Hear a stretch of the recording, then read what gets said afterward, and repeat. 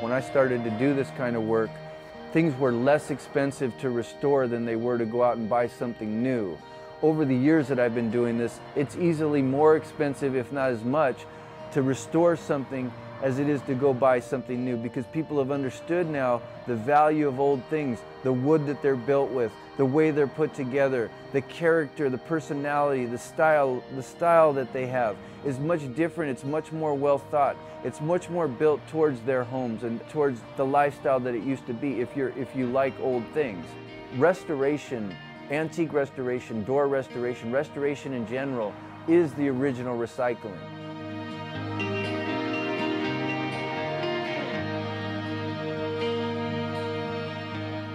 My name is Rand, you know, I run Los Angeles Stripping and Finishing Center. Uh, I've been working uh, doing antique restoration, restoration on all kinds of doors and different things for probably the last 27 years of my life, you know. Started out when I was about 16, 17 years old uh, on a work experience from high school. It was a friend of my mom's. He said he would try me out uh, in his finishing shop. He gave me two weeks of trial. Uh, I did it. He said, I, you know, I worked good and he, and he kept me on for the summer.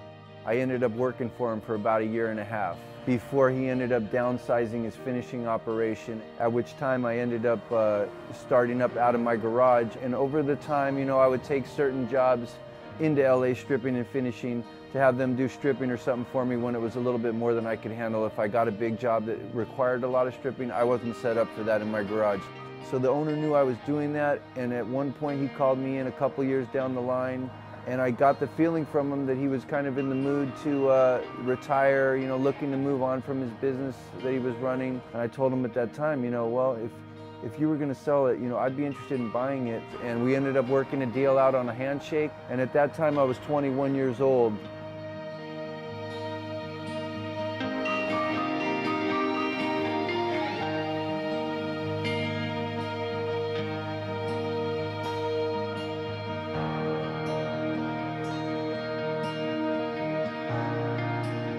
My dad's a machinist, and uh, you know I grew up working in his machine shop at a very young age, just through my childhood and helping out clean up or whatever. So it was a natural kind of draw to me just to be in a shop environment in general.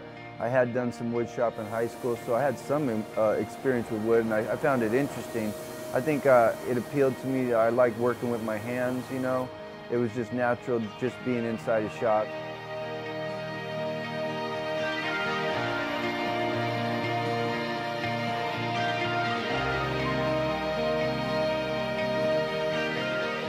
I brought my brother over. You know, I, I quickly asked him, you know, would you want to come in as a 50% partner? Offered him a partnership in the business.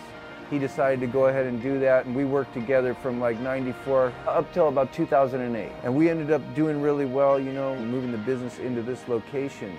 So it was a big transitional period we went through. A few years later, my brother ended up moving on from the business. My nephew needed something to do who's in his 20s, early 20s, and he's been helping me out do a little bit of work things have been uh, doing really well, you know, for the last year or so. What my job is here, relating what the customer wants directly into what we're doing for the piece. When you have that kind of a connection with the person, what their wants are, and you apply it to the piece, you're feeling through the process if it comes out what, the way you expect it to, is going to be that you expect them to be happy, and you know that's usually the case. You know, being appreciated by people is, is something that, that I value.